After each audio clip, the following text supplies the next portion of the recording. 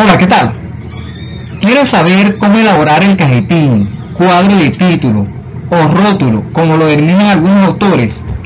Si te interesa el tema y quieres conseguir las respuestas a estas interrogantes, mira este video, sígueme, suscríbete a mi canal y activa la campanita de notificaciones. Mi nombre es Miguel Chirino, soy ingeniero industrial con una maestría en ingeniería mecánica y otra en docencia para educación superior. Tengo una amplia experiencia en empresas de consultoría, metalmecánica y la industria petrolera. Pero sobre todo, cuento con más de 20 años de experiencia en el área de dibujo y en el área de diseño.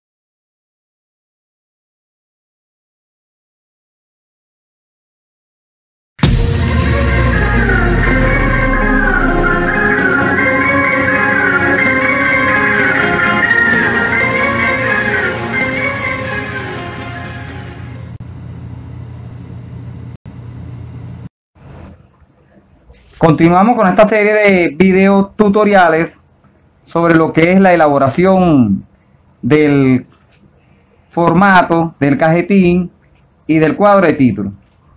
Parte de los principios fundamentales, de los primeros principios, los principios básicos en la elaboración del plano es el rotulado. En esta oportunidad les estaré mostrando de una manera más sencilla cómo elaborar las letras que deben utilizar en todo el formato de trabajo. ¿eh? Eh, como les decía en los videos teóricos, no se trata solo de elaborar letras o de hacer letras o de realizar letras, sino de dibujar letras. Cada una de las letras tiene un procedimiento para, elaborarse. ¿eh? Y para ello deben seguirse, deben dejarse guiar por lo que las recomendaciones que establecen las normas ISO para el rotulado. Entonces, voy a hacer cada una de las letras del abecedario para que vean cómo se elabora cada una de ellas y los números. Eh, vamos a trabajar, les, recuerdo que generalmente en, ingeniería mecánica trabajamos con letras mayúsculas. ¿eh? Entonces, procedimos. Vamos con la letra A. Como les decía, cada una de las letras la vamos a realizar por trazo. En el caso de la letra A vamos a hacer tres trazos. Un trazo vertical, otro vertical de arriba hacia abajo y más o menos a un tercio de la altura hacemos el siguiente trazo. La letra B, un trazo vertical y tres trazos horizontales. ¿eh? Y luego hacemos un semiarco, un semiarco y otro semiarco.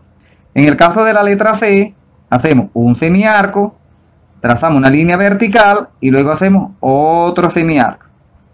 Para la letra D, trazamos una línea vertical, una, dos rayas horizontales o dos trazos horizontales y un semiarco.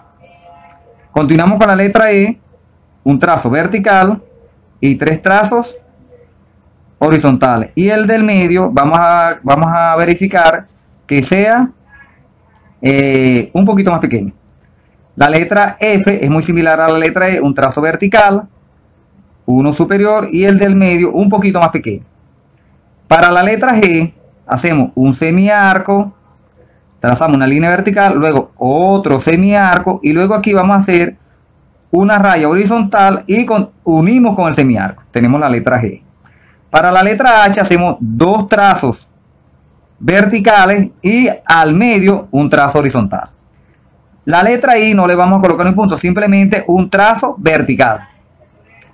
Para la letra K, un trazo vertical y luego un trazo que va a ir desde la parte superior más o menos hasta un tercio de la altura a un tercio de la altura y luego al medio el siguiente trazo. No parten del mismo, no es que vamos a llegar al medio los dos trazos, no, no, no. A un tercio y el otro a un medio.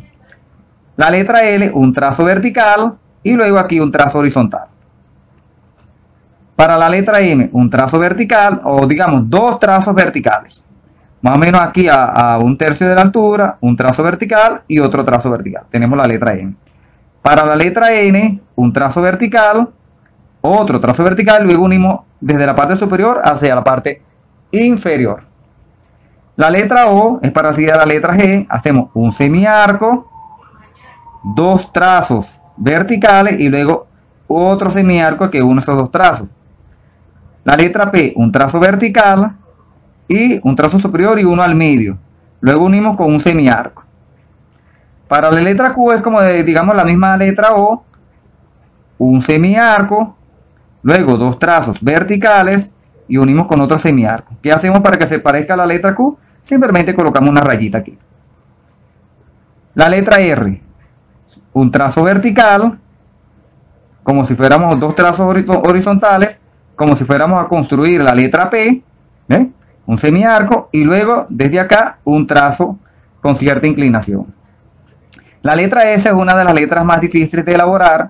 ¿Qué vamos a hacer? Hacemos un semiarco, luego trazamos una línea recta y luego otro semiarco. La letra T es muy sencilla, un trazo horizontal en la parte superior y luego un trazo vertical. La letra U, dos trazos verticales, más o menos lo hacemos hasta un tercio de la altura y luego un semiarco. La letra B, sencillo, un trazo vertical y luego otro trazo vertical, pero con cierta inclinación. Ah, tenemos la W, la W, un trazo vertical, luego hacia arriba y tenemos los dos, la W. La X sencillita, un trazo con cierta inclinación y en sentido contrario. La letra Y al medio, un trazo con inclinación, otro trazo más y luego desde el medio vertical.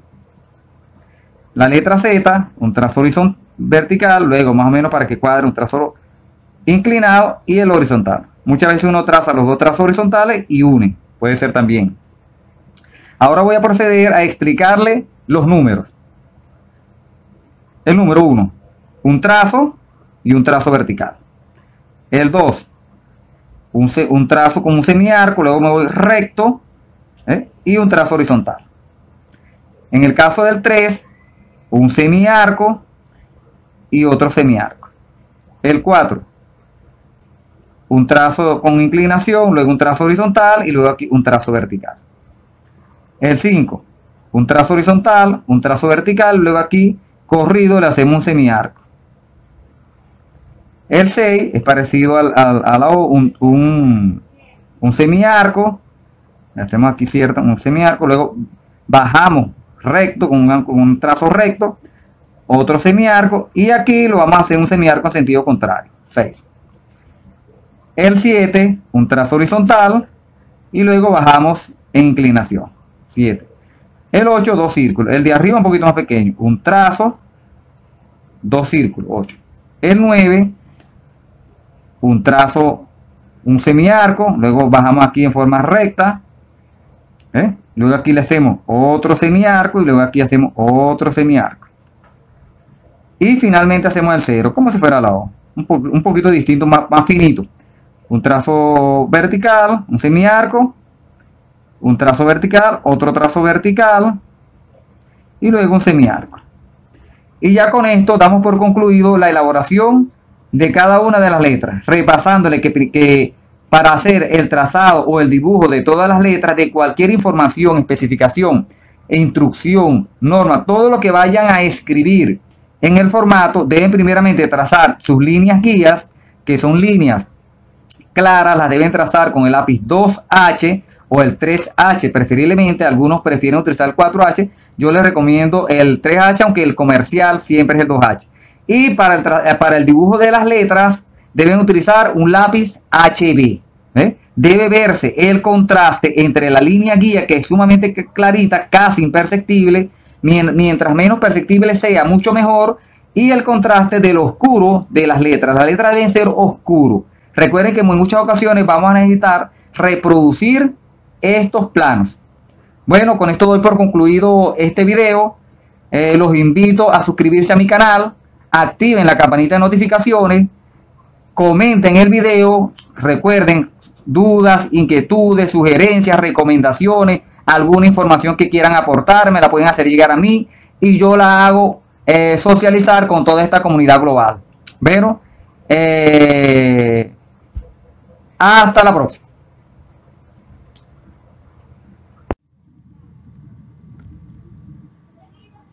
Siguiendo con las recomendaciones finales, quisiera plantear lo siguiente. Si alguien de la comunidad tiene información de interés y actualizada que la quiera socializar, bienvenida sea.